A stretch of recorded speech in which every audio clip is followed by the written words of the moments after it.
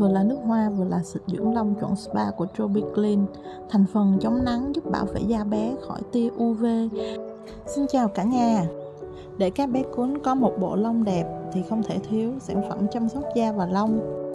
Bên cạnh việc bổ sung dinh dưỡng đầy đủ và chất lượng để da và lông khỏe đẹp từ bên trong thì lựa chọn sữa tắm và các sản phẩm dưỡng lông từ bên ngoài cũng vô cùng quan trọng.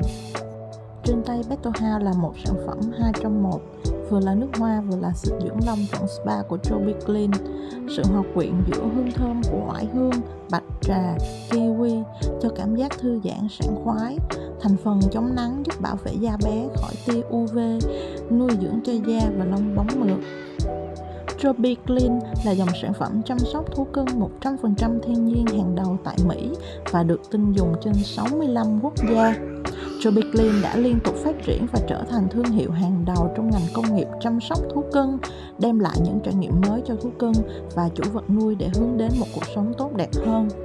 Cách sử dụng sản phẩm vô cùng đơn giản, lắc đều chai trước khi sử dụng, xịt trực tiếp lên lông thú cưng ở khoảng cách khoảng 30cm. Có thể xịt dưỡng lông cho bé khi lông đang khô hoặc lúc vừa tắm xong, lông còn ẩm trước khi sấy khô sau khi xịt ờ, xong thì mình dùng lược chải kỹ để tinh chất thấm sâu vào da và lông Sản phẩm được làm từ 100% thiên nhiên, thành phần chính là nước, kiwi, yến mạch, an toàn cho mọi thú cưng. Các bạn lưu ý là khi xịt mình tránh xịt vào mắt và miệng của bé cuốn nhé. Lực phun xịt rất mạnh nên cả nhà yên tâm là các tinh dầu sẽ được tỏa đều lên lông của bé cún. Mình điều chỉnh tư thế của bé cún để đảm bảo toàn bộ lông được phủ một lớp sương mỏng tinh chất dưỡng lông nhé.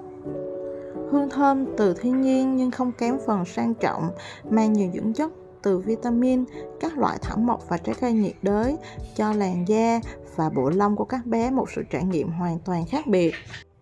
Chải lông kỹ sẽ giúp các tinh chất được thấm sâu vào da và lông. Nhấn like và follow Better House để biết thêm nhiều thông tin hơn nhé.